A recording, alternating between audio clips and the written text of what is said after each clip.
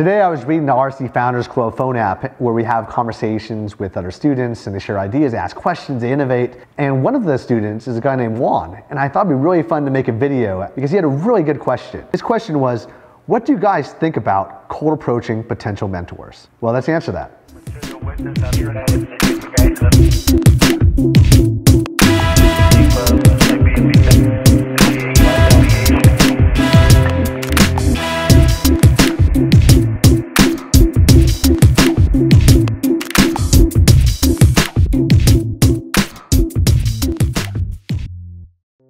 I could talk about the finding of mentors for a very long time because I've had a ton of mentors.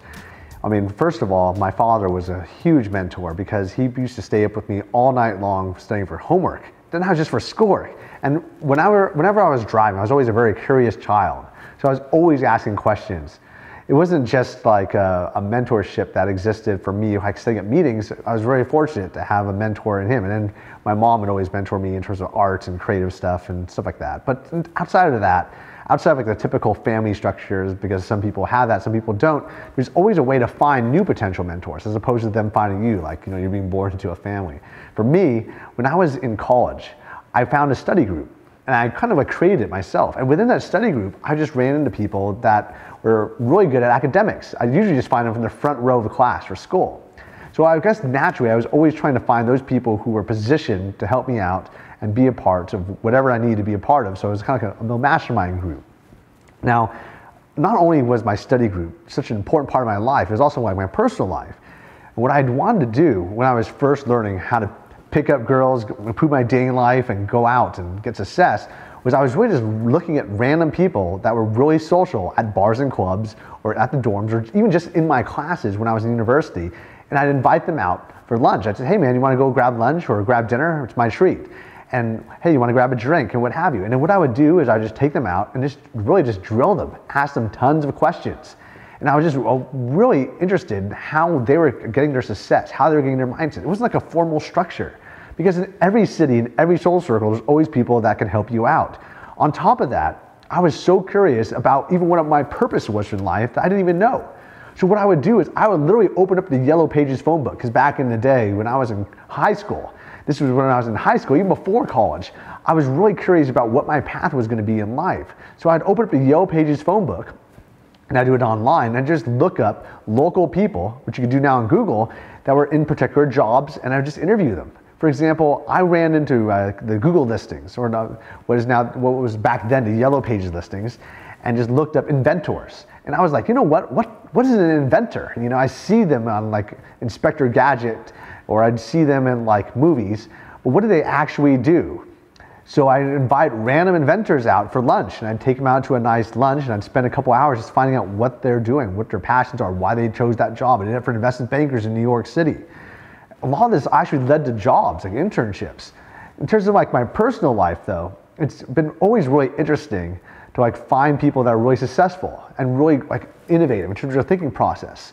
So when I found friends that had really good strategic strategies in terms of like uh, solving problems, personal problems, issues, and delve, dive deep into trying to find your underlying core beliefs and trying to understand who you are and what you were accomplishing and had a really good interpersonal skills. I just try to like find them to be like my own mentor. I mean, it's kind of like having a psychiatrist or psychologist, you know, but just like a personal friend that you trust, someone you don't have to pay money to, and someone who's actually able to hang out with you in your personal life as opposed to a professional level. And that's the kind of friends I was really looking for most of my 20s. I was trying to find people that were really good at understanding other people's personal relationships, empathizing with them, and it's made my intelligent, trusted friends into those kind of people. And if you don't have those kind of people, find them. They're in everywhere. I mean, when you go to a new city, just trying to relate people, relate to people and ask people questions, you'll be surprised about what people will give to you as answers. I remember once I was dealing with a personal conflict. I was trying to resolve like how to deal with a, a really good friend of mine who was giving me a lot of problems and I, I, I don't want to really go into specifics, but what I did was I just ran to random people at a barn club Said, you know what, I hear I want to get an outside perspective on something. Let me ask you a question. I was asking the bartender, I was asking random people around.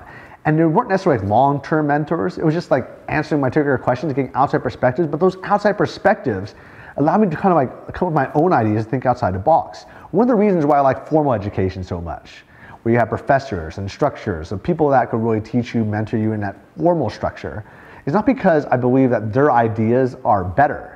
It's just that they come up with ideas that have worked for a lot of people. And when you listen to those ideas, you come up with your own ideas. You just start thinking. For example, the idea of coming up with the RSD free tour was just from me listening to an, a professor. He was talking about business organizations, how business organizations grow. And that's really all he said. He said, business organizations grow. And I said, you know what, how do I grow? Well, I could grow by going to other cities. Maybe I should, how would I get people to come to my events? Well, I was offered for free.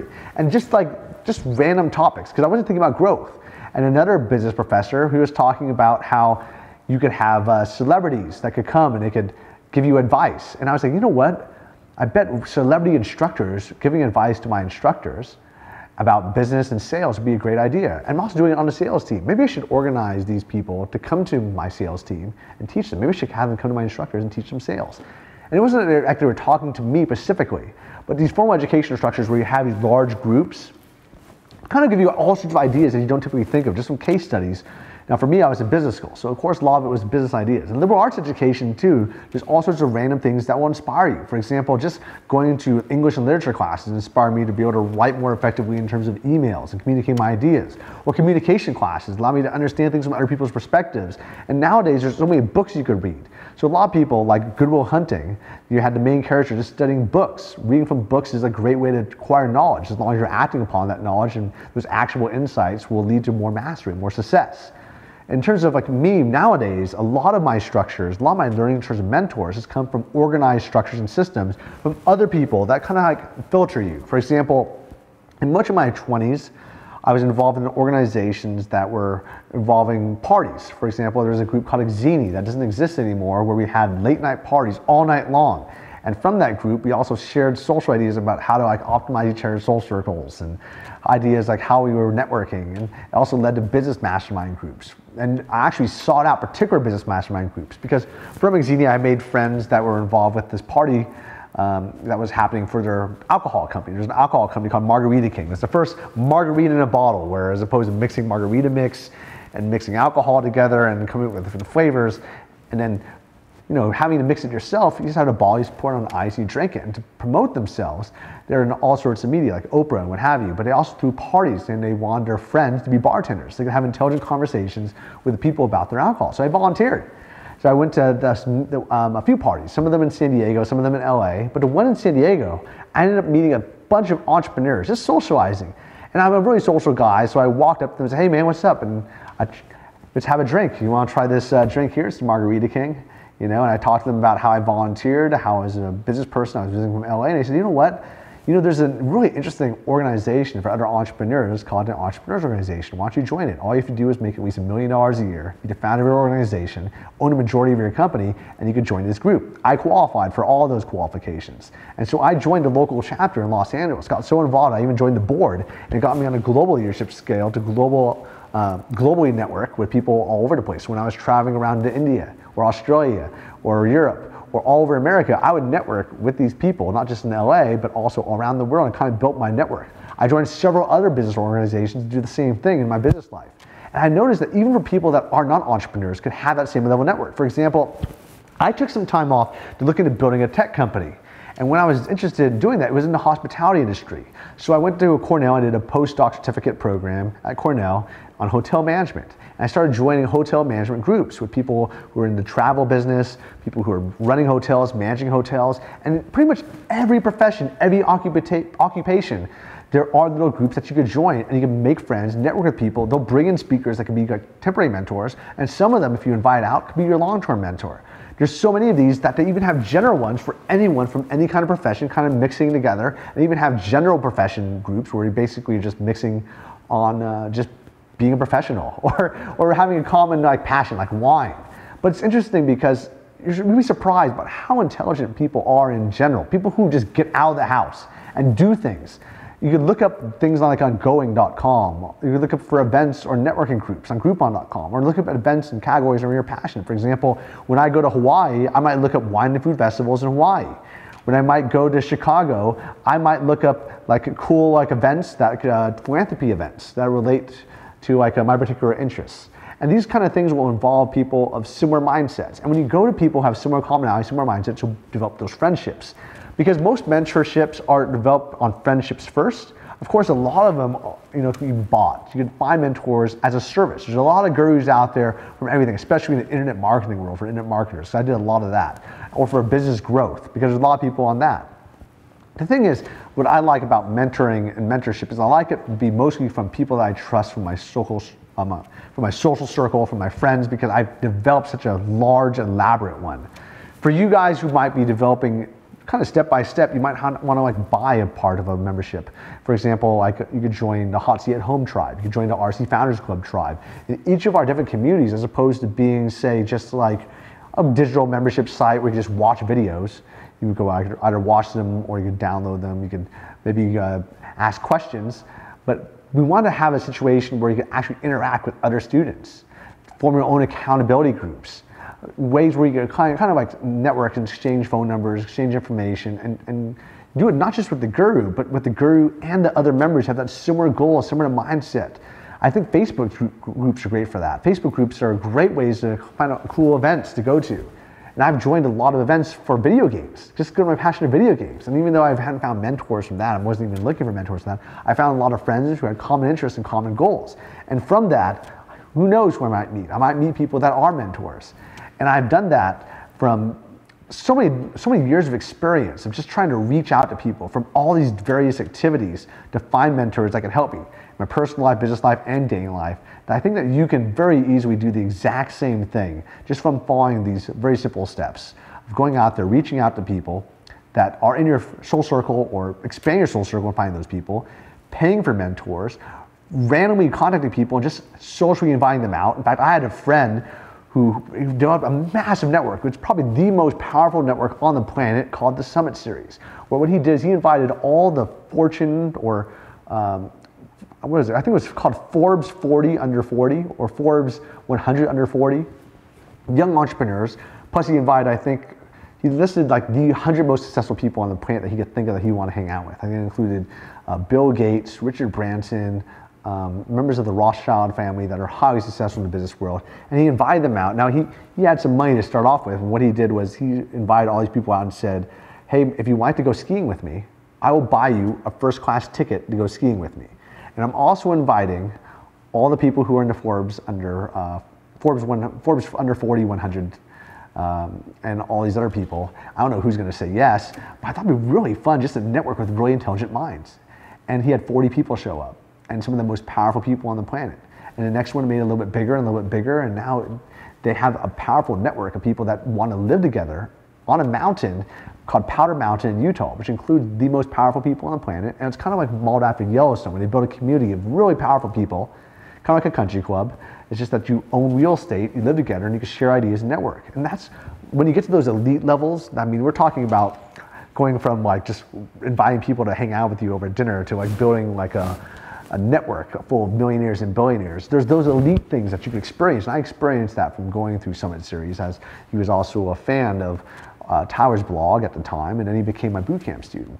But I guess what's interesting is that there's so many different ways to do it, and you could start small and you could really build it to a high level. All you have to do is get those field experience and overcome the mindset of rejection because there's a lot of people who won't want to do it, but don't be scared about it. Also, a lot of people who are kind of introverted. They don't want to step outside of their boundaries. In fact, a lot of my, my experience in life, I think maybe I'm introverted. I don't even know because sometimes I would just want to spend a lot of time at home. And I didn't have growing up that natural social skills, that natural charisma of going out there and networking a lot of people is a skill I developed over time. Just because I want to be a leader, I didn't want to be left alone and left to the common constructs of society and following that governance. I wanted to always be outside the box and creatively thinking about new ways to go. So socially experiment. Be willing to step out of your comfort zone. Be willing to try those new activities and reach out to new people. Don't be afraid of these people like uh, rejecting you or the fear of loss that might come from opportunity costs. Like if you reach out to a powerful person, the person could say no, but they can always say yes in the future. Don't worry about that. Just ask, just try. I mean, one of my students from the RSD Founders Club, he wanted to hang out with me. He heard my uh, interview with Brandon Carter where I mentioned I was going to go to New York and hang out on a yacht full of other entrepreneurs. And he said, you know what? I thought I'd just ask. I remember hearing from an RSD instructor, you should just ask. And he asked, and I said yes. And then we ended up hanging out for the next three days in New York City. Now, I don't have time to do that with everyone. At the same time, he was the only one you asked. And you'll be so surprised, whether it's that hot girl that's walking down the street that you want to approach, or that's that highly successful millionaire or billionaire. If you just ask, hey, would you like to participate in this really fun thing? Or, hey, there's a really cool idea I had. I'd love for you to like hang out and get involved. Don't try to get things from them like money or try to pitch them for something. But if you could offer them an experience or something cool that you might have found that you recognize was something that you had access to, you'd, be surprised how often people say yes. I say yes to things like that all the time. In fact, I had like a year or two, maybe even longer, I said yes to almost everything just because I wanted to get those experiences. I had people that would ask me out for dinner, maybe in the same night, to multiple dinners from different people from different areas of the city of LA. So I'd have like a little few bites of appetizers at one dinner and maybe some an entree at another and drinks at another with dessert. But I would say yes to everything and I'd spend a little bit of time with each group just to try to figure out the people that I want to interact with, the people I want to jive with, the people that could help lead me and guide me and maybe be a mentor. And then some of them would invite me to mastermind groups for business and my personal life. They understand me that I wanted to learn about business, so they invite me to business mastermind groups. But these are some of the really unique and interesting ways that really help my personal life. So if you could practice some of these things, if you want to invite people out, if you want to start your own groups, if you want to go to other people's groups, if you want to just invite random mentors to hang out with you socially, these things, surprisingly, are things that 99% of the world haven't even thought of doing. Some of these things they'll just do naturally, but I'm like doing all these things together, it's, it's a real huge payoff that you could get. And this is why a lot of people that you might hear in my interviews will say, Nick, you have the largest Rolodex I have ever heard of. I've never seen it. And it's because, not because I'm just a natural extrovert, it's because I put into work. It takes a lot of work ethic. I treated my social life, my networking life like a true business. It was just like a business where the return is return on community, as my friend Tony Hsieh likes to call it. He's like return on the value of getting people together to have collisions, connecting people, and having those innovative thoughts turn into like cool new entrepreneurial, free-spirited ideas. And when you have that, that excitement that comes from that, that fun that comes from that, excites mentors, excites you. And by doing that, you'll have the two of you guys come together and hopefully come up with some cool ideas to lead you down the blueprint of your life and accomplish the goals that you want to accomplish. Well, Juan, I hope I answered your question. I know also you were asking about how LinkedIn can be a very useful networking tool in terms of like business and also any kind of mentorship. Now, yeah, I say that definitely is the case.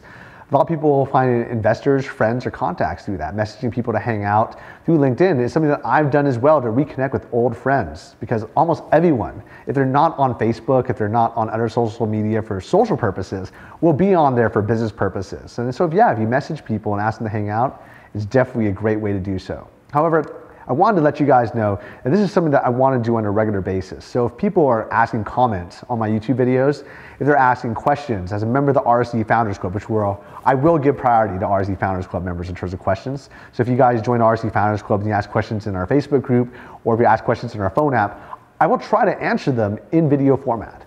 I have a teleconference that I'm doing in RSD Founders Club, and that's going to be taking place later in the month of July. It's July 2016. I think it's going to take place, um, well, the dates are posted on RSD Founders Club. And also, I'm going to be having a live event where you can actually personally meet me and members of my mastermind group and actually ask me questions in person. So if you guys join the RSD Founders Club, you guys will have the chance to participate in that and also learn from me from over 10 hours of how we organize content. And I hope you guys check it out and also participate in asking questions for my YouTube channel because they help a lot in terms of me creating the content for the videos here. Thanks for checking out my video today. Please subscribe. It'll make me a very happy person. Click on the subscribe button right now. And if you subscribe to my channel, you'll hear about all the cool videos. In fact, although I have a regular video that's gonna be posted as a show every Monday, it's gonna be a Q&A show, I also will have one every Thursday as a mastermind interview. And if you guys want way more in-depth material, more in-depth interviews, uh, me delivering not just the questions, but the questions I think are most important to me from the questions I receive from RSD Nation members that I organize in a very organized curriculum. Visit rsdfoundersclub.com and then in that RSD Founders Club membership site, you'll have a chance to interact with me personally, members of my tribe, and get a lot of your questions answered directly.